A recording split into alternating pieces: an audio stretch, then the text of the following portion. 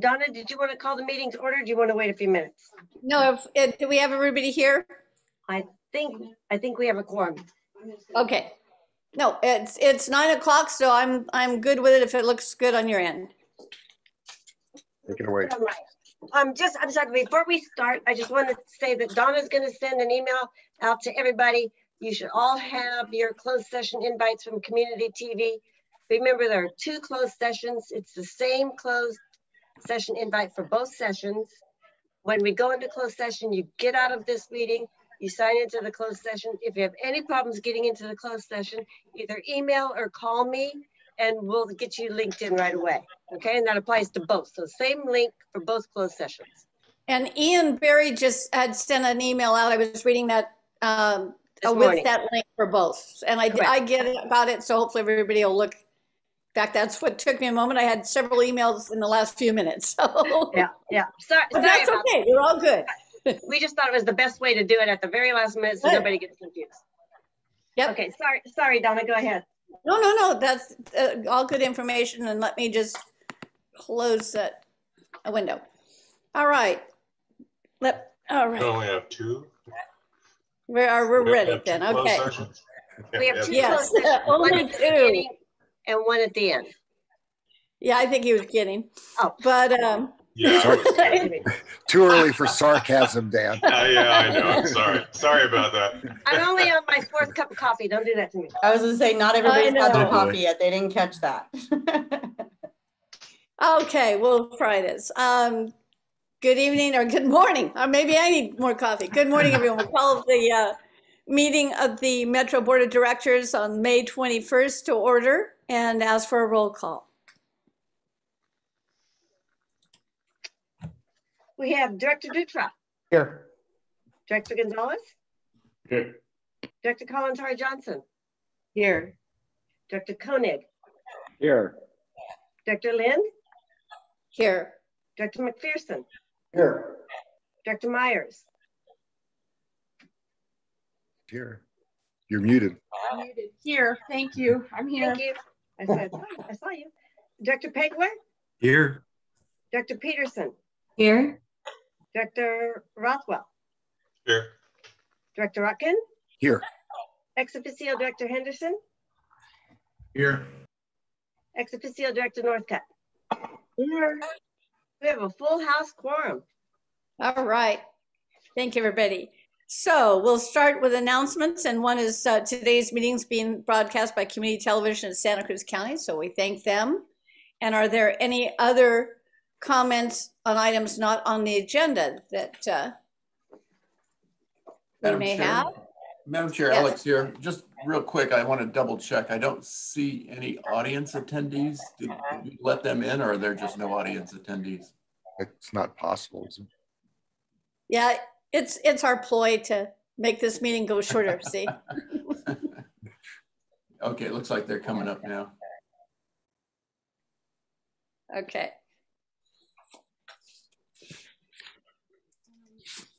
So we're giving it a moment, and for those coming in, we just uh, uh, called the meeting to order and uh, opening the meeting for public comment on any items that are not on the agenda.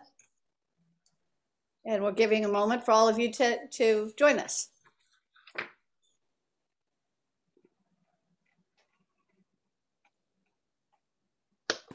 I don't see any hands. Oh, wait, yes, I do. Excuse Oh, me. yep, there's one. There are oh, two two. hands up. All right. Three. Three. And again, this is for items that are not on the agenda. So we will start with Brett Garrett.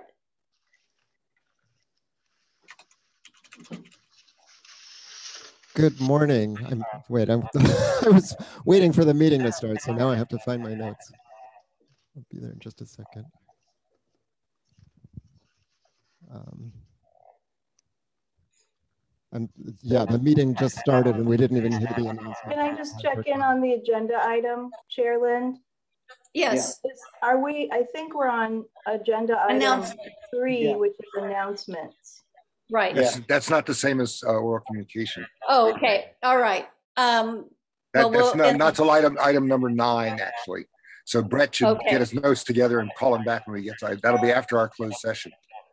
Okay. Okay, um, yeah, I found my notes, but uh, I'm Well, for that's items good. not on the agenda. So we'll start, first of all, do, are there any announcements from board members?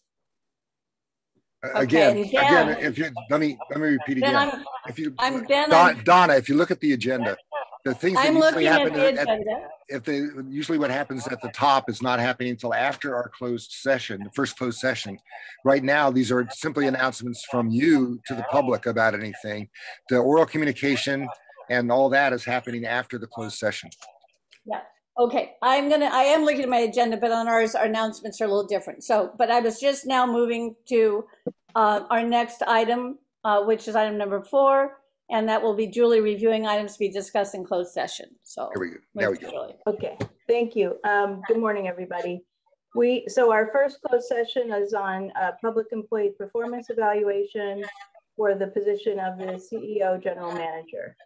And just a reminder to make sure we allow for public comment before we recess. Okay, yes. And so we will open, we will have an opportunity for any public comment before this closed session item. And I know I see uh, Kieran Colby's hand up.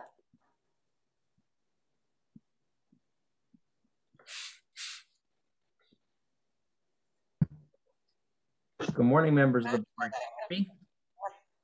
Good morning. Good morning. My name is Kieran Colby. I'm the lead internal organizer for SEIU 521, one of the two unions for Metro workers. I'm here today because our members have grave concerns about Alex Clifford's behavior as CEO. In the last seven years, the culture of fear has grown so strong at Metro that our members are terrified to speak out about Alex's behavior, which is why I'm here today. Where at another agency we might have settled workplace issues at the lowest level, Alex is Excuse me, I'm, I'm sorry, Kieran, I, I don't want to take away, Kieran. I don't want Yeah. to take away from your time, but you got a really bad echo in the background. Do you have something else on? It's coming up with a few speakers. It came up when Mike was speaking as well. Um, there, I don't know what's going on with that. It's really kind of annoying. Okay. I- I'm, I'm sorry, Kieran, but it's really hard to hear you from me. I don't know. Oh no. I think everybody needs to mute. Anybody How that. about now, y'all? Can you hear me? Yes, way Yeah, better. That, that's better. Oh so my far. God. All right. Thank, Thank you, you. Gina, for checking in about audio. So Sorry. anyway, where was I? Would you please here start to- over? I'm sorry, guys. Can we start his timer and everything over again? Because I didn't get anything of what he said. We good with that? Yep. Chair? Wonderful. Thank you Okay, so thank much. you. Sorry. Good morning, members of the board. My name is Kieran Colby. I'm the lead internal organizer for SEIU 521, one of two unions for Metro workers. I'm here because our members have grave concerns about Alex Clifford's behavior as CEO. In the last seven years, the culture of fear has grown so strong at Metro that our members are terrified to speak out about Alex's behavior, which is why I'm here today. Where at another agency, we might have settled workplace issues at the lowest level, Alex's totalitarian approach to our membership leaves no room for collaboration. His callous attitude has cost Metro and the public hundreds of thousands of dollars in unnecessary legal expenses. These expenses come in the form of arbitrations, which could have been resolved at the lowest level if Alex was more collaborative, and hundreds of thousands of dollars in exorbitant attorney fees during negotiations. For context, most of our agencies handle contract negotiations with SEIU in-house. He has, on multiple occasions, restructured his own pay table to give himself raises, which would make most public servants blush. A month and a half ago, we reached out to Alex to request he meet with our union leaders in the spirit of maintaining harmonious labor relations. He has yet to offer a response other than to say he's, quote, pondering our request. When the pandemic surged in the winter, Alex insisted that our members return to work in the office. No other agency we represent mandated that all workers return to the office with no flexibility then or since. These are concerns or why workers at both your unions are submitting today a vote of no confidence in Alex Clifford's leadership. Despite the culture of fear the CEO has perpetuated at Metro, 83% of our members in both unions, SEIU and SMART, are publicly stating they have no confidence in Alex Clifford's leadership. As leaders at Metro and in our community, I urge you to step in now. We want to partner with management to make Metro the best transit agency possible, that Alex has stood in our way at every turn. Please do the right thing. Do not extend Alex Clifford's contract. Thank you so much. And hopefully you'll be able to hear from James Sandoval Lecel, well, who has been working with us on this. Thank you, Kiernan. And next we have James. Good morning, board. Can you hear me? Yes. Uh, James Sandoval here, General Chairperson for SMART, who represents the bus drivers here at Metro as well as uh, the paratransit drivers at Paracruz. I just want to thank um, each and every board of director for meeting with our representatives for our unions. We appreciate the respect and partnership, and we hope to continue to build on these relationships. As you know, we have serious concerns about Alex Clifford's behavior as the CEO of Metro, and we're asking you not to renew his contract. Both SEIU and SMART have asked our membership whether they have confidence in Alex Clifford's leadership. To substantiate the concerns we have discussed with you, we present this petition in solidarity with our SEIU brothers and sisters as a vote of no confidence in our CEO, Alex Clifford. And a survey put out to all of our members at both SEIU and SMART, 83% of our members said they have no confidence in Alex Clifford's leadership. Our petition reads, we, the undersigned staff of Santa Cruz Metropolitan Transit District, have composed this letter to express our dissatisfaction with our current CEO, General Manager Alex Clifford. This letter is to express a vote of no confidence in Alex Clifford and his, his abilities to function as a CEO, General Manager for Santa Cruz Metropolitan Transit District. We, the signees, understand the severity of this decision and did not arrive at it hastily. In the past, SMART, formerly known as UTU, and Metro have always functioned well together as a cohesive group thriving in the spirit of cooperation. Metro has always been a family and a place where we supported each other in the deliverance of the best public service and a space for good working relations. Prior to Alex Clifford, we have been proud of, of the work that we did, working collaboratively, and we felt like our input made a difference. Throughout his tenure as CEO, general manager, we, the employees of Metro, have had concerns regarding Alex Clifford's ability to lead this agency due to his lack of professionalism and his leadership, specifically regarding trust, integrity, collaboration, decision-making, vision, and his lack of respect for other staff. Metro relies on the collaboration from all of staff to provide exemplary public service for our community. Alex has demonstrated an ongoing lack of respect for all the Metro staff and his comments are consistently degrading and disrespectful towards the workforce as a whole. After many discussions with Alex Clifford in an attempt to improve our relationships, he continues to prove his, his disinterest in developing a working partnership with his employees. We have given many chances to Alex to see if he would be willing to work with the staff in the spirit of cooperation to grow the transit system by securing grants, developing programs, and shape in place of best practices for jobs all of which would uh, allow Alex to change and grow in his leadership. Time and time again, he has actively refused to cooperate in a productive, affirming, and mutual workplace. Alex's ongoing harmful choices in his position in leadership needs to stop. The morale is low amongst our members, and we attribute that primarily to Alex Clifford, and therefore we are insisting on a change of leadership for Metro. We stand in solidarity with the support, support of this vote of no confidence in this petition. And we want to make it clear, these issues with Alex have been going on for years, well before COVID. Our union smart has been. James, your time has expired. Let it, let him finish his comment. That'd be my view. It's up, it's your choice, of course. Just you need you just need to wrap it up, okay?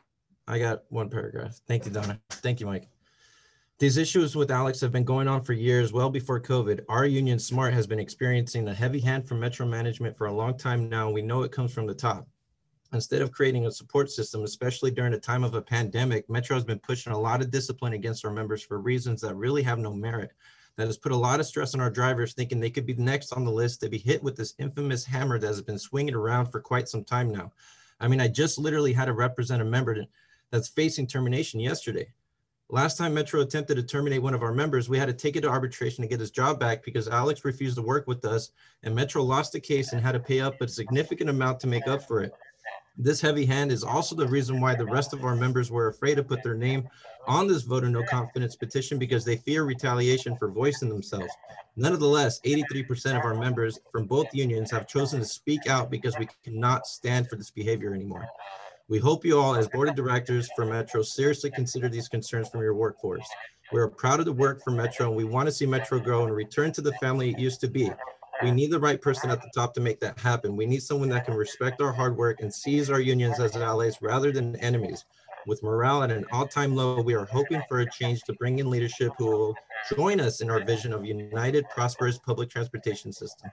Thank you very much. Okay, thank you, James. Anyone else? And we have Jeffrey Smedberg. Smedberg.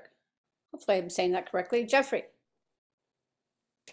Okay, good morning. Uh, Thank you, Ms. Bauer and uh, Board of Directors for Metro. My name is Jeffrey Smedberg. I am a long-term resident of Santa Cruz County and at times have uh, relied uh, heavily on uh, Metro uh, bus system for transportation. And um, I'm coming to you this morning with my views about uh, uh, the CEO, uh, Alex Clifford. Um, I do have uh, friends and acquaintances who uh, work for both of the unions that um, are represented, that represent the members of um, at at the Metro, and I just wanted to stand with the, with them, with those members, in urging you to um, to uh, uh, in a vote of no confidence for uh, the CEO, Alex Clifford. Um, we definitely need a good bus system in this community, and uh, the only way we're going to get that is with good, strong leadership that's uh, that's collaborative and willing to work with the uh, with all the staff. Thank you very much for listening to my comments. Thank you, Jeffrey. Anyone else? Okay. Seeing no other public, co- any comments, I will then close the public comment. We'll move into closed session, and when we return, uh, we'll provide whatever information comes from that and give you a moment before uh, opening it up again for public comment time. Madam Chair, just to be clear, is this, um, is, is this take, this closed session, we're just having one closed session today? Two. Okay, We have two. We won the one at the very end over a negotiation item, but this one is the one Okay. that Julie moved, uh, mentioned. So we'll Got move in, same link for that. So you'll have a, uh, an email from Donna and one for actually, uh, there are two emails for, for us, but we'll move into that closed session. Dan Henderson, you have a question? Uh, yes, just, uh, how will we be notified when the closed session is complete and we're reconvening? I, I can answer that. Dan, we'll uh, send an email to you and Alta and say that we're coming back. So when we when we get everybody back, when we know that everybody's coming back in, we'll send you guys email. And it'll take a while for everybody to log out of the closed session, and get back into the public. So we'll give a few minutes. If for some reason you're not going to be able to participate when we reconvene, just let me know so that we're not waiting, you know, for somebody who's not going to appear. Copy, thank you. okay, thanks. Okay, and Elise has a hand up. Did you mean Alta? Oh, uh, possibly. I'm sorry. No, no, I was no, just, I was just agreeing. no. There, Okay. there is no. No, Hello, I'm a There is member no of the Lisa with her hand up. Oh, okay, good. I'm a member of the public. I don't know if you can all see my hand. I'm trying. Yeah, I do see you. it. And I've I've been trying to speak, but I'm sorry. I this screen for some reason is not like my other Zoom screens. Well, go ahead. Okay, thank you so much. I'm actually here to speak about the um the no the no confidence vote. Can you hear me? Yes. Okay. I think it's extremely important that uh, Alex Clifford be let go and not rehired as CEO of the bus company. I am a bus rider. I take the bus everywhere. And in 2016, I formed a grassroots organization to help fight the bus route, cuts that Mr. Clifford um, inaugurated. Uh, the, the little grassroots group was called Santa Cruz Bus Riders, but we had a, a, a somewhat of a, uh, an effect on making sure that about 33% of the bus routes were not cut. I'll just start with this. The fact that Alex Clifford was ever hired is is really egregious. Um, I don't know if you all know this, but there was an enormous scandal in the state of Illinois where he came from. Apparently, there was some harm to the train company that he ran. That was never proven, but what was proven was it took, I think it was a couple hundred thousand dollars plus a million dollars to get him out of his contract. They had to pass a law in Illinois that uh, to make sure that never happens again. So why would why would the board take such an enormous risk on someone like that? I think it's exactly because the board at this time was being uh, governed by people who wanted to make sure that the bus company would be a company and led by a person who would go along with the plans for development downtown, who would be interested in diminishing the drivers union, who wanted to make sure that it was no longer the kind of bus company that would, if it had continued in the way that it was developing, to be a robust public transportation system alternate to fossil fuel cars. And Mr. Clifford came on board and immediately started to do everything against the public good. The first, one of the first things he did is spend $50,000 to give himself the title of CEO. The previous general manager was well liked and used to find grants everywhere to support the bus company. It's not that there hadn't been labor struggles before. The second thing Mr. Clifford did was to st start to attack the paratransit. That's when I started to notice what was going on. So the people of the least ability to walk, who are in wheelchairs, are going to get their services cut. On and on, it has gone on in this way. He attacked the union, Finally, we had this bus cut situation in 2016. I'm running out of time. This is not the right kind of leadership for our union. And I hope, Mike, that you won't just contradict what I'm saying. Thank you very much. Thank you, Lise. Okay.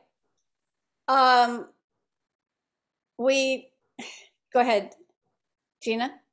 I see Brett's hand up, but he has spoken so you normally, it's, it's one time Oh, on I, No, no, this. I Brett- thought, I thought no. Brett didn't speak. Brett, Brett wants Oh, to talk, okay. he, Brett wants to talk during general oral communication, or at least that was his past, past what he wanted to talk about before. Not, not about this closed session item. He'll be, Well, should- since his, Mike, since his hand's up, I'd like to double check to see, Of hear course. from Brett. Yeah, I just want to very quickly give my support for the other speakers who have who have made um, important comments. Thank you. Thank you. Okay, now, since we've heard from both board members and probably if there are no other questions from the board, we will move into closed session and everyone will be notified when we return. And you'll have an opportunity to review whatever decision is made and be able to comment again. So we will return after closed session. Thank you.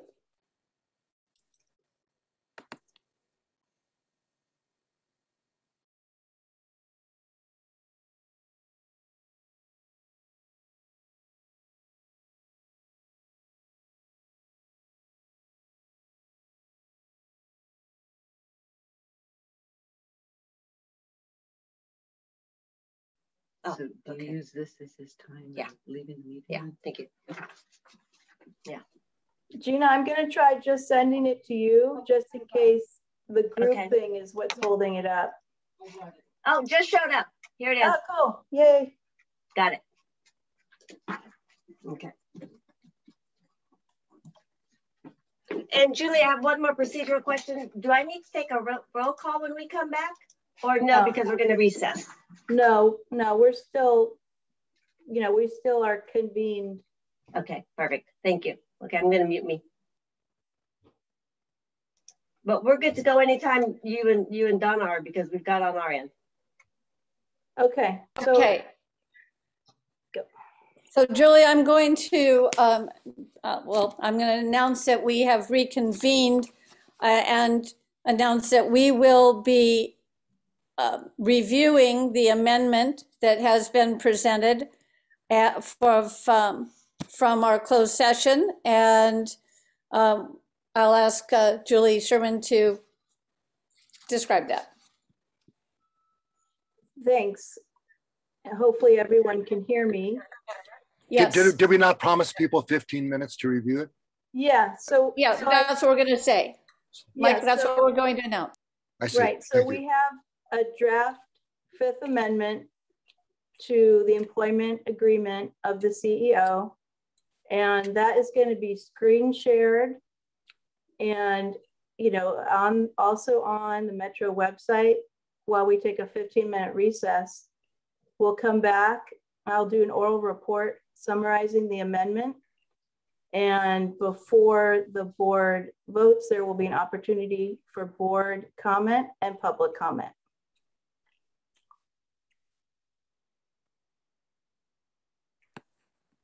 Okay, so this will be an opportunity for everyone to review it. We'll give you that time before, um, to review it before we re, return with that item or reconvene with that item.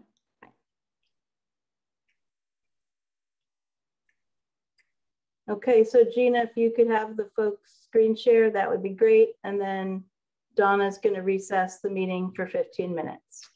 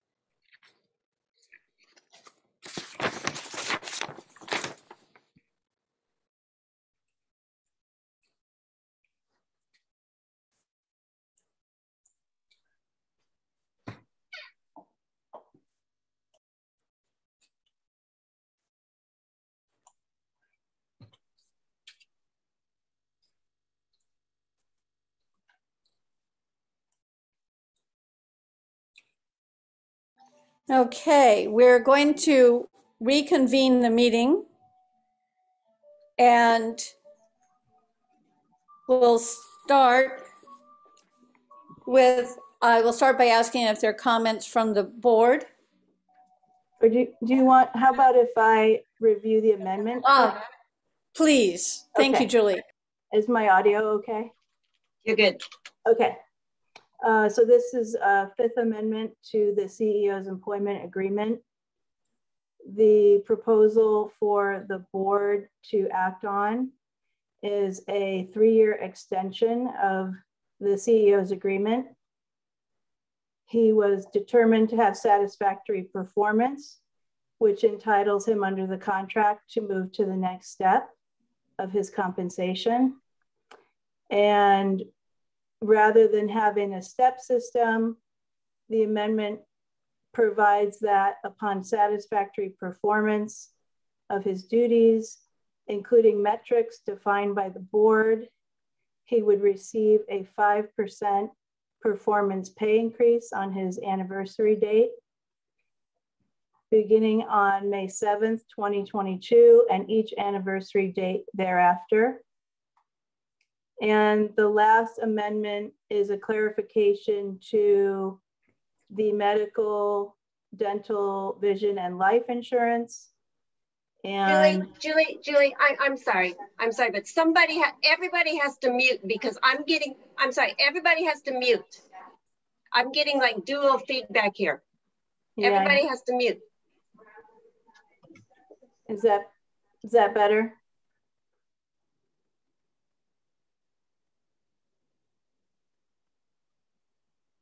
Can I proceed, Gina? I'm still getting two audios. Okay, well, I'm almost done. I'm going to push through. Um, it's a clarification that Metro will pay the full cost of term life up to three times the base salary unless that's not available on the market, in which case the maximum level will be purchased, but it will still not exceed three times the base salary. And so that is the Fifth Amendment that is being brought up for board discussion and potential action. Julie, let me ask, is it good to put a motion on the floor or to wait till after we hear the public comment to put the motion on the floor? What's your advice? So I, I think having, under the Brown Act, you can do it anyway. You just have to allow for public comment.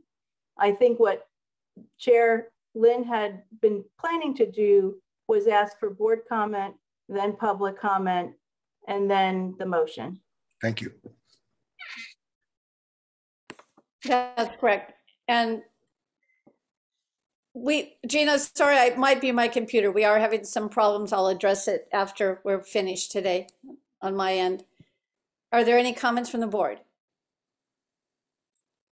And just a second. And are there any comments from the public? And I see Lise.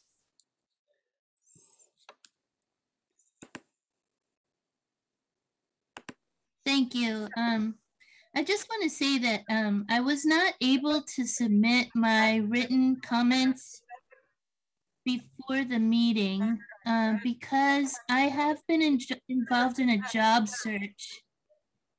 And I just don't have the time. Uh, but I did write up some comments. I was not able to get them in before the meeting today. I wonder if there may be a place where I can submit them. I know it's late and it's not going to have an effect for this meeting today. Um, that's the first thing I just wanted to say. The second thing I wanted to say is what follows. Um, it's sort of additional comments to the comments I made earlier today. Mr. Clifford obviously is a um, professional um, with a great deal of expertise. He has done some things well. and I'm not trying to overlook those. I think that um, there are many things that he has done well that have to do with promotion of the bus company, the ads on the side of the bus that talk about the disinfecting measures that he's taking throughout the COVID are helpful to create a sense of wholesomeness and cleanliness on the bus. That's actually extremely important in these times of COVID for people to feel that they can get on the bus. However, I just want to say when it comes to the basic bus services, drivers are having an extremely difficult time getting off of one route, especially if it's a long route. For example, 71 to Watsonville. Uh, the three bus has been canceled. That's the only bus that goes from downtown Santa Cruz to the west side. I feel that that's a classist move that's classic of this board and how the board's operated for a long time to neglect, to completely neglect the needs of bus riders. We need to get to the market over on the west side, the Safeway, and other things that are over there. The three bus was a very minimal type of schedule, but at least you could catch it. These are these are times of the utmost urgency with climate change, and this board is acting in a reactionary way. To hire, to have hired Alex Clifford, who is a reactionary. Yes, he's getting some electric buses, but we need to have a robust promotional campaign to get people out of their fossil fuel cars and into the buses. I'm not trying to just simplify everything here as much as just make my main points. In a time when uh, the students have, were crammed onto the buses, um, for us not to be expanding bus service, but in fact cutting it, is, is just not acceptable. And to continue to blame the feds while the CEO of this metro is getting over $22,000 a month, this is the utmost form of class oppression. And it's just really, it's, it's irresponsible, I feel, not only to the community and to the public, but to the entire planet. And I think this board, I'm hoping you'll see a lot more pressure from the community in coming years. Thank you very much. Thank you. Okay, seeing no other hands, I will bring it up. Here we go. We have uh, Krista.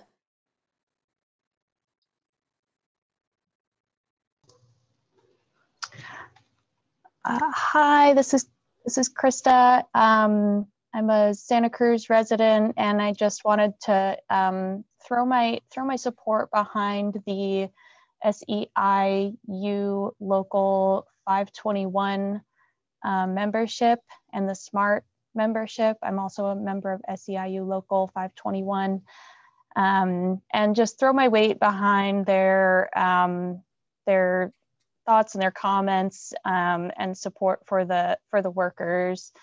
Um, you know, this seems like a pretty uh, pretty sizable pay increase that Mr. Clifford is looking for, and um, I know that Metro is eager to increase ridership.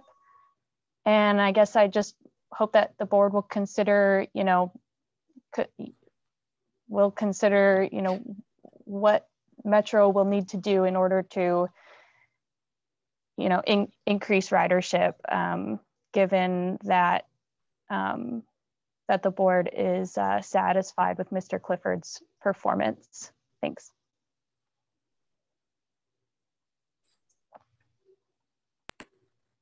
Okay, then we will bring it back to the board for, and um, Director Rotkin. So I move that we, that the board approve the Fifth Amendment as presented to us by our uh, legal staff, uh, Julie Sherman. And uh, part of the motion is that our board chair will meet with Alex Clifford in private to talk about concerns the board has about, any concerns the board has and has expressed about uh, his performance. That's my motion. Second. Okay, we have a motion and a second, and that's for a roll call vote. Oh, one second, I have a question uh, from Kristen. Thank you. Can you just, uh, Julie, could you just repeat one more time what the recommendation was? That, that Mike just made a motion based on the recommendation. I'm asking if you can repeat what that was. Yes. What, what what was- I, what I captured was a, um, a motion to approve the Fifth Amendment to the CEO contract as presented by legal counsel. Board chair to meet with CEO in private to discuss, uh, questions in performance. Does that reflect what you said, Mike? That's the motion. Okay, thank you. And the second is by Dan Rothwell. Perfect. Okay. And we had, uh, and the, the- what the substance of that motion is and was shared for 15 minutes on this full screen with everybody. And I, I don't think we, we were, we have a huge time issue about keeping our quorum here to get our budget done. So I recommend that we move ahead. Okay, let me take a roll call vote on that motion. Uh, Director, Director Dutra, Yes. Director Gonzalez, Yes. Director Kalantari Johnson, Yes. Director Koenig, Yes. Director Lind? Aye. Director McPherson, Yes. Director Meyers, Aye. Director Pageler, Aye. Director Peterson, Aye. Director Rothwell, Yes. Director Rotkin. Aye. Unanimous vote. Thank you. So we will move, we're trying to make sure we get to the items to keep a quorum. So we will move next to oral communications um, to the board directors. So that would be anything, anyone have any comments on anything not on the agenda? And again, we have Elise. I'm sorry, um, Chair Lind, I think your plan, and I, I apologize if you've changed your mind, was to move to item 15 and then circle back to the top of the agenda.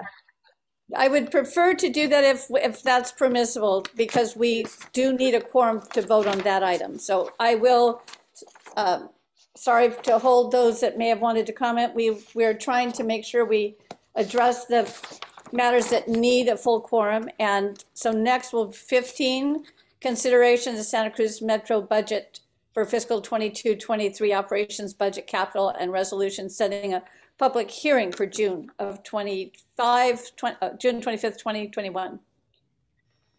And that will be by Chuck Farmer.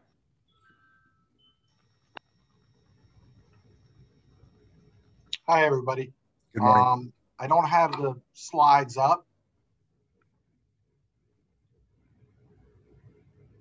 Community TV, would you go to the budget, please? Agenda item number 15 to show the slides.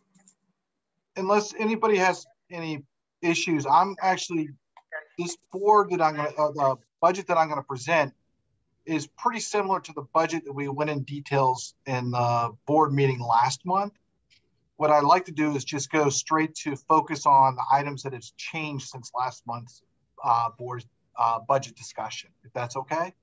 And that that'll save us a little bit of time. Well, great. So if we can get it up, I, what I need to do is go to 15A 12.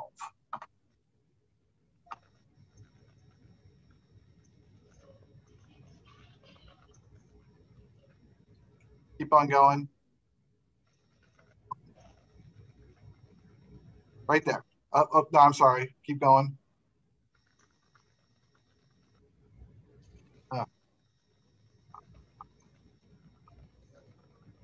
Whoop, that's too far, I think. Yeah, it's too far. Go back, back, back, back, back. All right. Slow down, slow down. Keep going. Keep going. Keep going. Keep going. Keep going. Keep going. Oh, okay. All right. This was just the regular report than what's in the book. Okay. I can quickly go through this. So go to the next slide. No, no, no, no, no, no. Kingston, you're on the monthly financials. We need to go to the budget, which is agenda item number 15. I'm glad you caught that. I was just going to catch it. Yeah, yeah. So let me grab my PowerPoint presentation, see if I can tell you which it is.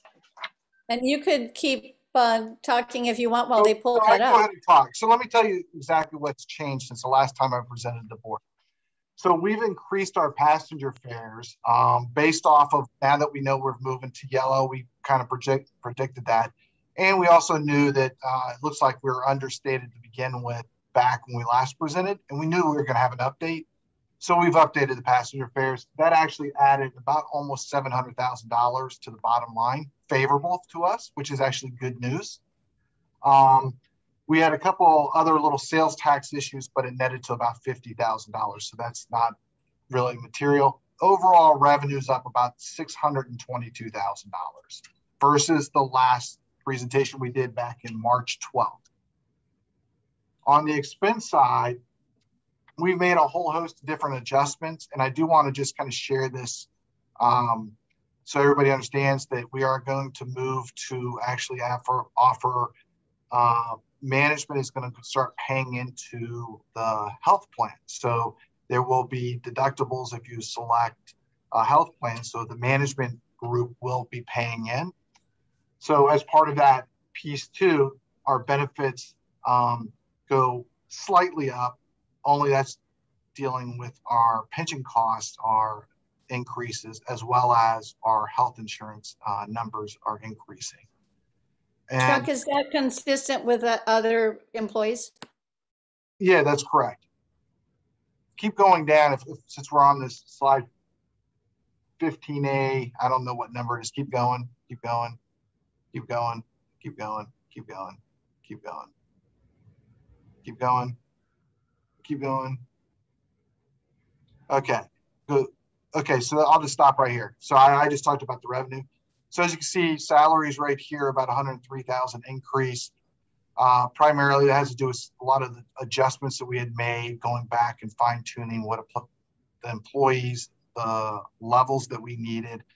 We've added in, you know, like I said, we've added back a couple heads. At the same point, management pay increase was 3% to help offset some of the uh, deductions that we are going to um, get for healthcare that uh, management employees are going to pay. On the fringe benefit side, uh, like I said, there's some medical costs that increased as well as slight adjustments in the pension. And that's only about 113. Some of the non-personnel costs, we, we had a lot of adjustments that we took place. We added in some ERP consultants. We knew it'd be a little bit higher. Um, we also had some IT costs. We had power that we had to put in for the electric buses coming in, so we had to increase it. And that was slightly offset because we actually delayed the uh, bus leases from 2022 to 2023. So it kind of netted to about $67,000. Overall, our operating expenses is about $282,000 up.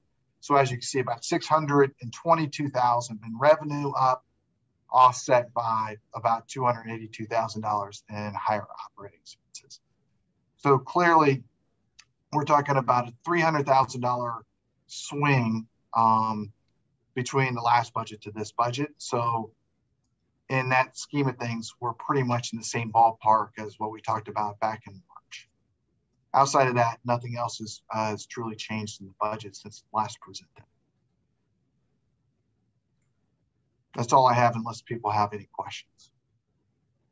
Thank you. Anyone have any questions about the update on the budget? Could we go to the page in the budget that shows the, the bottom line, uh, what our projection is for the two-year, uh, at the end of this year, coming year? Uh, That would be 21, 22, and then 22, 23. So the public, even though we, we all saw it, just to be clear where we're going with our final budget. Because we're going to vote on this in June, and we usually don't, we can make changes, of course, in June, but we typically, if we- we're unhappy with this budget, we tend to express our concerns now, so people are clear where we're going with the final budget. All right, so that would be, uh, you go back up and that's fifteen A four, so that's about ten slides before this.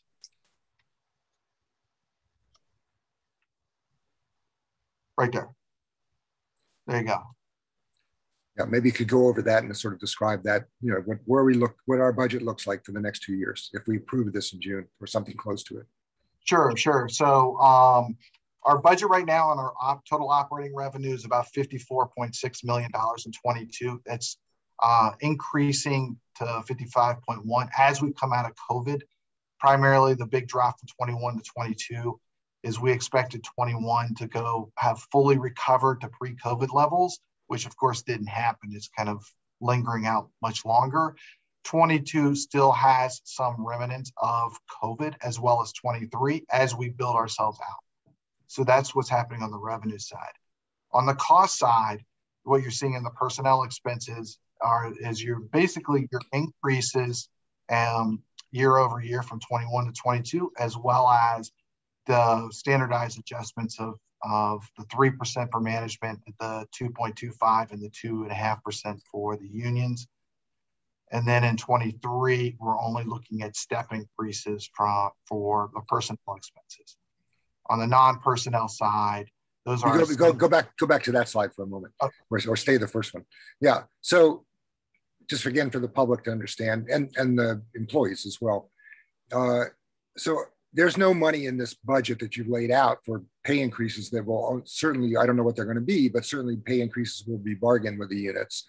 And that money will have to come at some, right now I have a balanced budget. If it's gonna stay balanced, we're gonna have to find somewhere in this budget to find enough money to pay for whatever those uh, bargain pay increases are. Do I understand that correctly?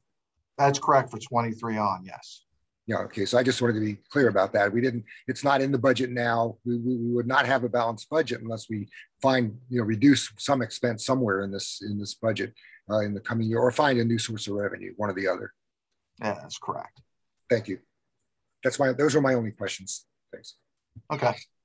And then uh, the non-personnel our standardized increases that, you know, for contracts, electrical, uh, diesel, fuel, and so forth of that nature. Uh, overall operating expenses are going from about 55 to about 56 million dollars, about a million year over year. And then of course that's increasing again then to 58. So overall, like I said, we're looking at um, balancing the budget for each of the three years. The biggest issue is when you go down to the very bottom, second to the bottom line, transfers from our COVID recovery. So in 22, in order to balance everything out, we need to transfer about $6 million from our COVID recovery in order to balance out our budget. In FY23, that number grows to $7.3 million. And as Mike uh, alluded to earlier, um, if for whatever reason we end up um, paying, which we know we will, increases in, in salaries in 23, that number is going to increase unless we find costs somewhere to reduce. And that's it, unless anybody has any questions. Any, anyone else have other questions? I know we want to get a vote before we lose a board member. But if you have any questions? If not, then I will ask if there's a motion. No, we should ask to hear from the public first, and then they'll have a Oh, motion. yes, you're right. I'm trying to hurry too quickly. Any, any uh, questions or comments from the public? And we have Elise again.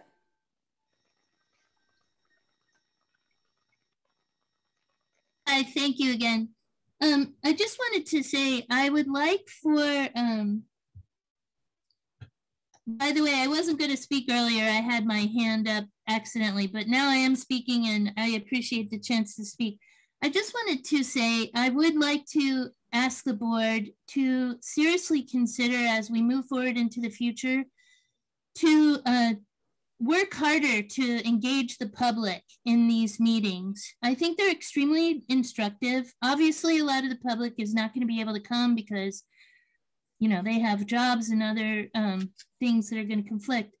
But I really feel that, you know, the public um, transportation system is so critical to our lives and our actual, it's a life support system, not only because it takes people to work and to the grocery store or whatever, but because it is the emergency system, I understand I was t- being told by a bus driver, it, it, it, it actually is the kind of the skeletal backbone in certain crises. We're going to have to go to the bus if people need to be moved places in, in a crisis, for example, uh, a tsunami or a hurricane, I don't know, but it's, it's a, it's a safety system as well as just a basic life support system.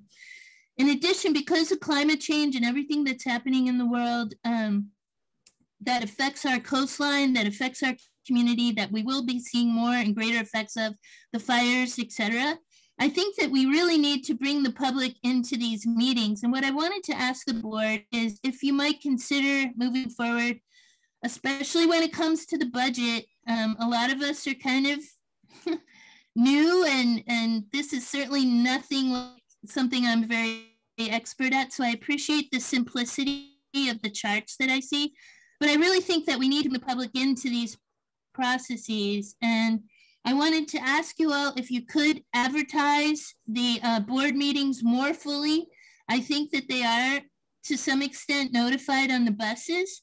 And um, the other thing that I just want to say is when it comes to things like I'm talking about, um, the budget, climate change, um, who, what kind of ridership you're trying to bring into the bus. Um, I've noticed in a lot of the presentations over the years, certain consultants refer to the bus system as kind of for the poor, for the aged. I mean, they don't necessarily use these exact words, but I would like to see the bus promoted, and, and I think uh, Mr. Clifford has done a good job on this to a, to a certain extent.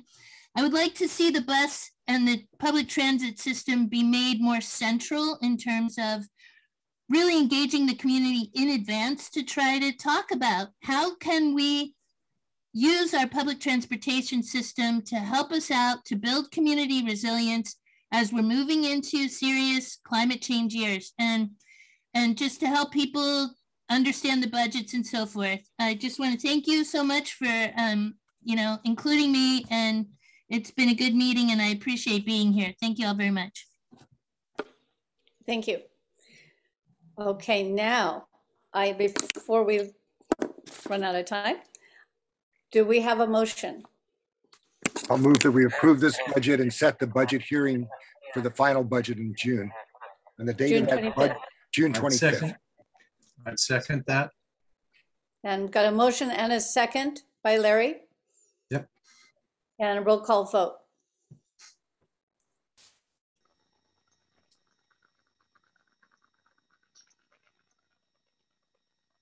Motion is to accept um, a resolution setting a public hearing at our next board meeting on June 25th, 2021. Motion by Director Rotkin, second by Director Pageler. And the roll call vote is Director Dutra, Yes. Director Gonzalez, Yes. Director Kalantari Johnson, Yes. Director Koenig, Yes. Director Lind, Aye. Director McPherson, Aye, aye, gotcha. Director Meyers, Aye. Dr. Pageler?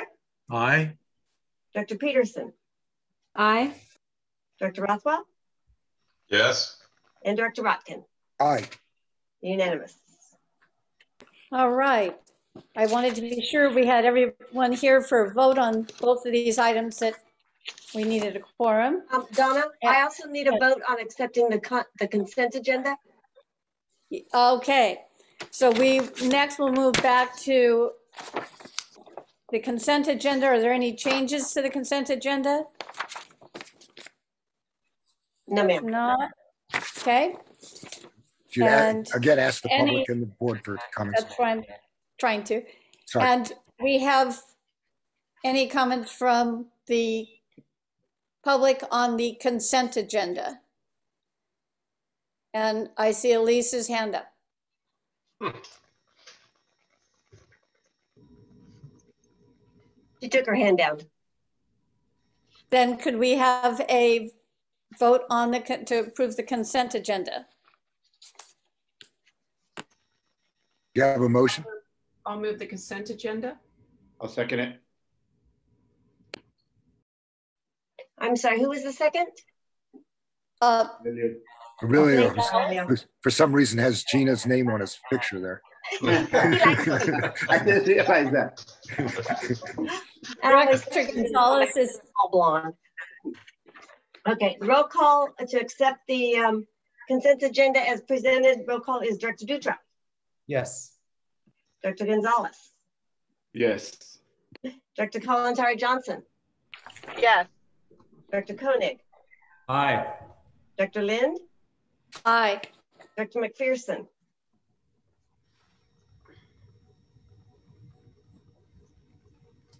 Yeah, Aye. thank you, Dr. Meyers, Aye. Dr. Pageler, Aye. Dr. Peterson, Aye.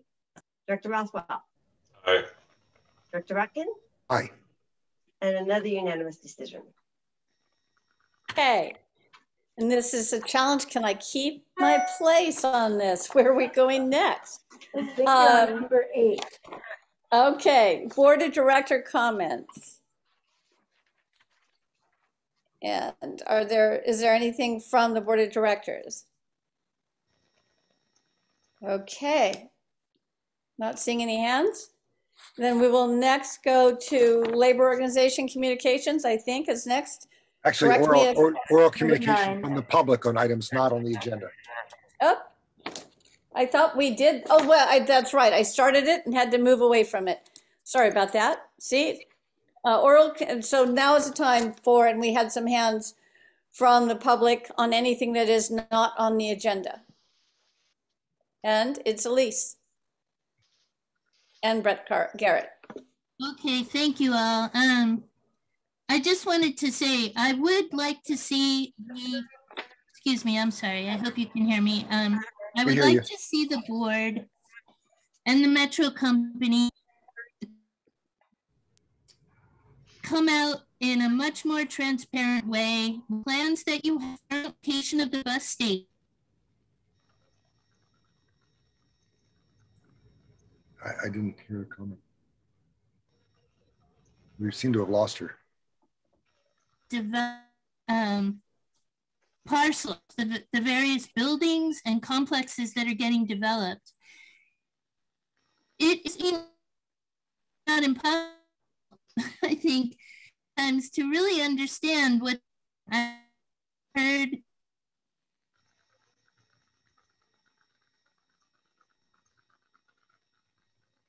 At least you're breaking up. We're not hearing you steadily. luxury condo unit. Can you hear me? No, no, it's broken up and we didn't, so you should, maybe if you have a brief comment, you should start, you know, make it clear because we missed part of it. Okay. Um, uh, It's still, ha- you're still, ha- it's still breaking up. And I'll just call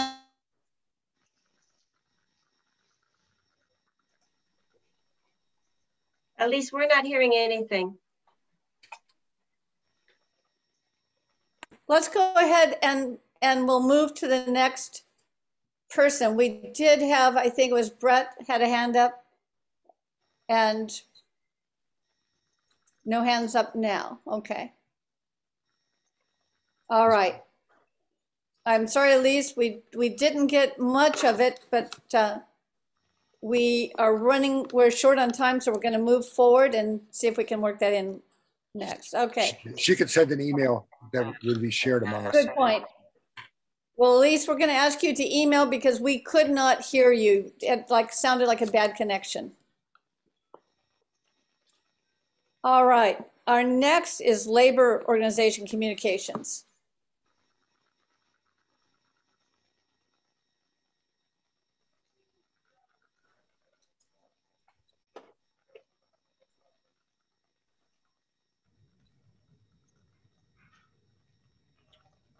No one, is no one from Labor wishing to comment at this time? Oh, here we go. Here's, well, I don't see any hands. well, Brett Garrett's hand comes up and back. So maybe Yeah, That, that's that our, he, he may have been waiting for Labor Organization. no, he's, he wants to talk about PRT, I think.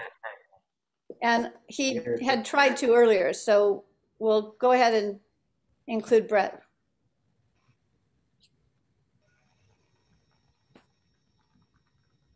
Hi, thank you. I'm sorry. I don't, I don't know if I missed public comment. Um, I was, No, you're, you're just in time. You should go ahead and do it. oh, okay, great. Thank you so much. I'm Brett Garrett from Santa Cruz, and I just want to tell you about an innovative transportation project in um, East Contra Costa County, not far from us.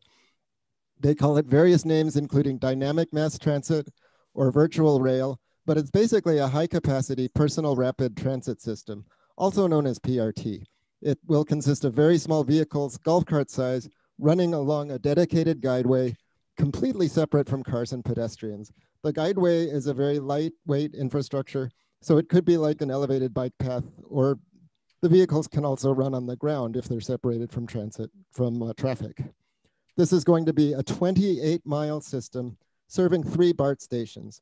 The local bus agency, Tri Delta Transit, is deeply involved in this project and helped to organize the feasibility study, which suggests they will more than triple their ridership when this system is installed. In the past month, this project has been endorsed by four city councils, Antioch, Brentwood, Oakley, and Pittsburgh.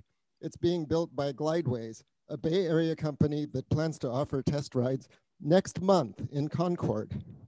I've been researching and advocating PRT for years, and it's felt like pie in the sky, but this project is bringing it down to earth. PRT is real, and mathematically it works. I'm a mathematician. This project checks all the boxes of what we need here in Santa Cruz County.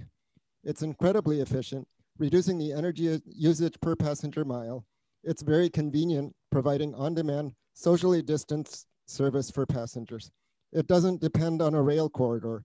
It could provide direct service to our three transit centers and two hospitals, not to mention Cabrillo College and UCSC. Just imagine being able to hop on transit in Watsonville with little or no waiting and riding nonstop to UCSC within 40 minutes. That could be during rush hour and it could be at two in the morning. The system would be running 24 seven, um, automated, and it would completely transform our transportation. And you, Metro, can get it done just as Tri-Delta Transit is doing in Contra Costa County. There's a number of companies offering this kind of technologies, but I think the one that's uh, doing is Contra Costa is worth a look. It's called Glydways. They're almost local. They're building a 20 mile system, 28 mile system nearby. I've uploaded their presentation to YouTube that was done in Pittsburgh, so you can find it. You can search for Glydways Pittsburgh. That's Glydways G L Y D W A Y S and Pittsburgh without an H. It's worth taking half an hour to watch the presentation if you search for Glydways Pittsburgh. Um, so yeah, we can do this. Thank you very much. Thank you. Okay, and one last call for any uh, comments from labor organizations.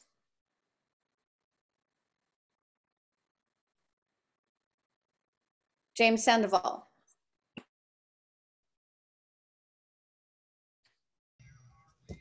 I just got to say, it's a little disheartening what just happened with both of our unions and the entire staff coming forward, sticking our neck out to give you all the information that you needed.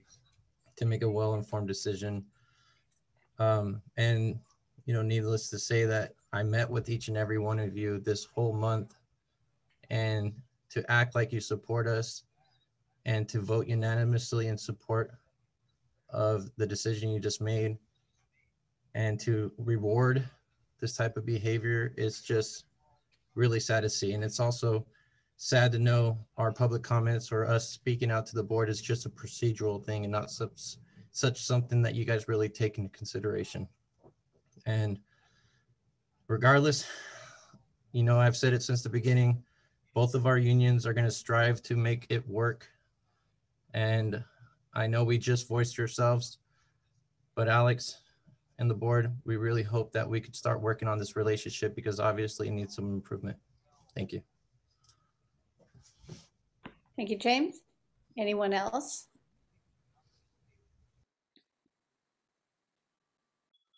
Okay, Joan Jeffries.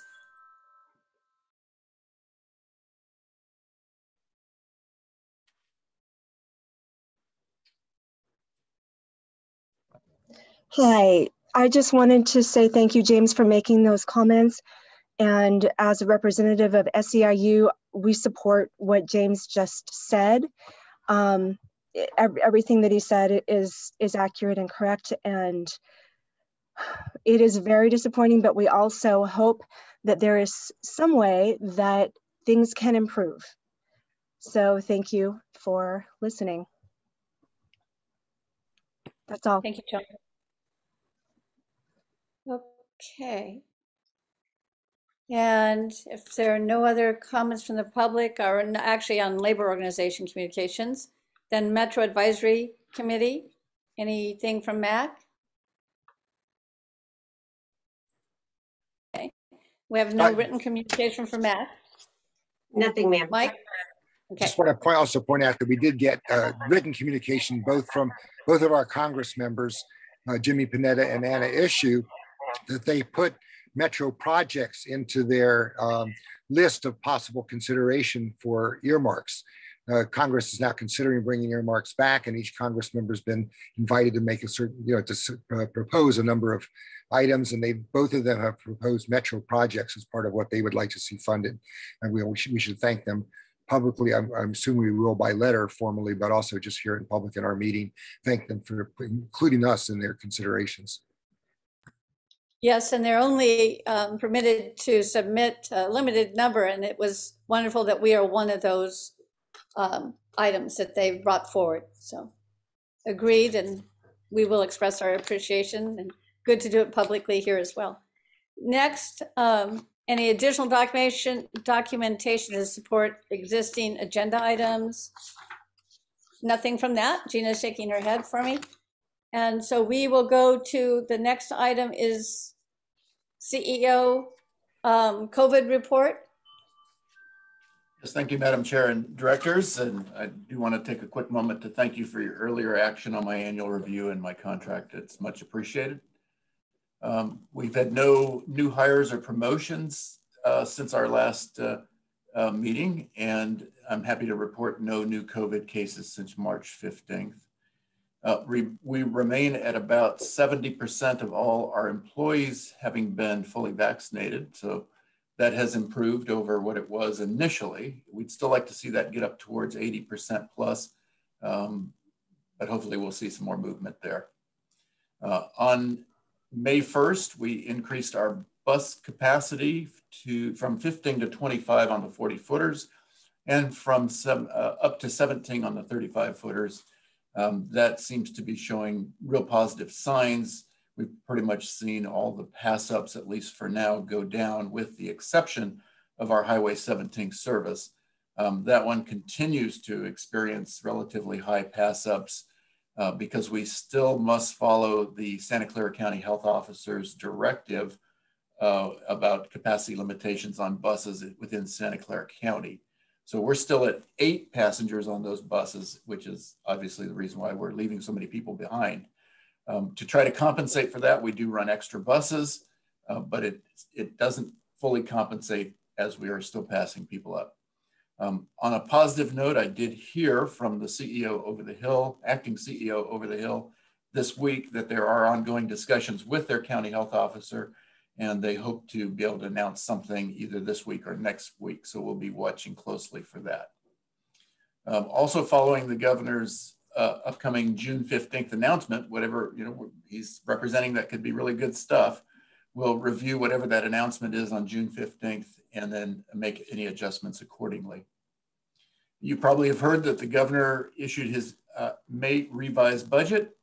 It includes a hundred billion in new economic stimulus called California Comeback Plan. And within that is 11 billion for transportation. Now that's being proposed, that still has to get through the process. Um, but just a couple of highlights, zero emission buses and trucks is 1.4 billion. Priority transit and rail projects, 1 billion. Zero emission rail and transit equipment purchase and infrastructure, 407 million. Uh, Los Angeles Olympics, they're gonna get 1 billion to deliver critical projects in time for the 2028 Olympics. High priority grade separations and grade crossing improvements, 500 million. High-speed rail got 4.2 billion or would, would get that. The state highway rehabilitation and local roads and bridges would be 2 billion. Active transportation, 500 million. Uh, and then finally, in closing, we had a lengthy discussion about restrooms at transit centers last month. Um, I, I, will try to avoid going down that road too far, but I do want to tell you that as of today, uh, both restrooms opened up at Watsonville Transit Center and Pacific Station. We put in place various measures, including upgrading security. So those are open from 8 a.m. to 8 p.m. daily. And Madam Chair, that concludes my remarks and I'm happy to answer any questions. Thank you. Are there any questions? And any questions from the public? Okay. All right, we will move next to the is, oh, we have, uh, our next item, I believe, is recess, recess to closed session on conference with labor negotiations pursuant to government code section 54957.6. And you might want to announce the next meeting before we, Oh, we go into that yes. closed session. Thank you, good point. Yeah, we, um, are, let's see. We June will 25th. be- Pardon? Twen- Okay, June 25th. June 25th, thank you, Gina. Our next meeting will be June 25th for those who are not going to remain to, uh, and I don't know if we, I, I believe we will be reporting out after um, this closed session. Julia, will there be something that we will report out? Well, I don't know, and I, I don't think there's reportable action, but I don't know if the board will make a statement. Okay, so we will move to closed session and at least uh, be able to provide the information on the next meeting for those that may not be here. And everyone will use the same link as the morning's closed session. Perfect. Thank you. Thank you. Thank you all. Thank you, Community TV and everyone.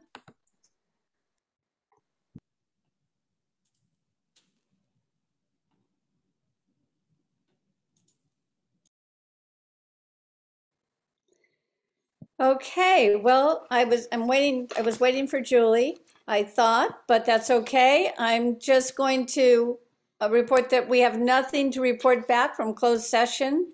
Oh, wait, Uh, sorry, you, you officially have to call us back in to reconvene. Okay, I'm, I'm, thank you, Gina. Uh, So we're reconvening the meeting after closed session at this time. And I have nothing to report back. So uh, we will be adjourning and thank you all for bouncing back and forth with us and hanging in there. So see you June 25th or sooner with our committee meetings, but uh, take care, everyone. Thank you. And, and Donna, before we go, I just have to apologize that your computer is fine. It was operator error on my part that was had that echo going. Well, I hope it is. I've had a complaint on echoing, so I've been thinking I had to buy a new computer. I'm, I'm glad it's not too bad on your end. No, babe, it was total operator error on my part. Good. Have a good Thank weekend. you. You too.